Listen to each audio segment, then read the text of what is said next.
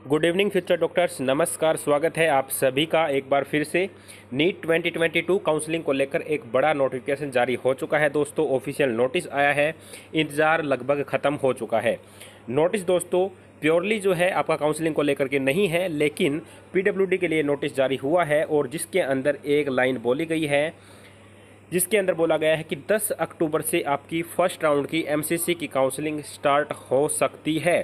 और दोस्तों, जब ऑफिशियल नोटिफिकेशन में ऐसा बोला गया है तो 10 अक्टूबर नहीं तो एक या दो दिन पहले या एक या दो दिन बाद। लेकिन दोस्तों सेकेंड वीक ऑफ़ अक्टूबर में आपकी काउंसलिंग स्टार्ट हो जाएगी।